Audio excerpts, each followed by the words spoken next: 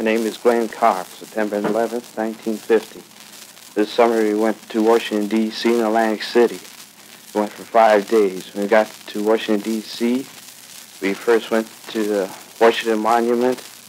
Then we walked down uh, Boulevard there to the Smithsonian Institutes, then to Lincoln Memorial and Jefferson Memorial.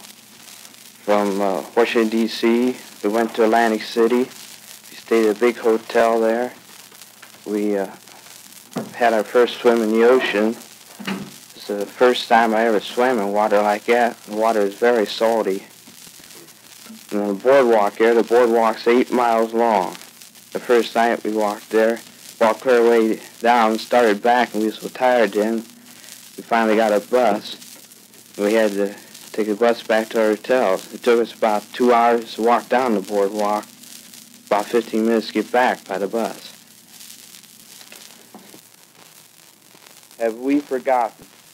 When peace came to this country, most people looked forward to an era of golden prosperity and ease. Five years later, we are wondering whether we are even going to have a successful peace. Peace. Remember how it came on the night of August 14, 1945? No matter where it caught you, on Times Square, at home, on any college campus, the big news made a noise like giant firecrackers. And in eight months, almost 10,000 servicemen returned to their homes with welcome and well done blazing in bright colors. Yes, in 1946, we had our hands in the fat of the land, a brand new era filled to bursting with bright promise.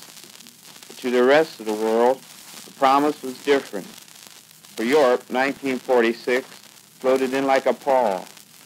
Returning soldiers by the thousands stared into an empty future.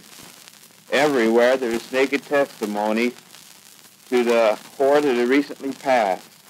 It left behind in Europe, Asia, and Africa hundreds of millions of bankrupt people, hundreds of thousands of square miles, a burnt-out earth, broken tools, and now once again a cloud of fear, suspicion, and hatred is slowly rising and choking the life freedom of those broken people. In their desperate confusion, while we forget, those people are asking, must there be another time? We ask ourselves what can be done to prevent another war.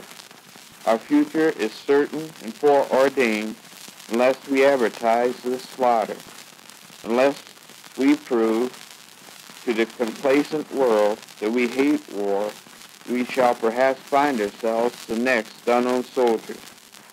It would be well for all of us to remember the words of George Santayana when he said, people who cannot remember history are compelled to repeat it. I'm a strong believer in backing the church, the United Nations, and other peace organizations, but somehow these groups have not caught the intention of all concerned.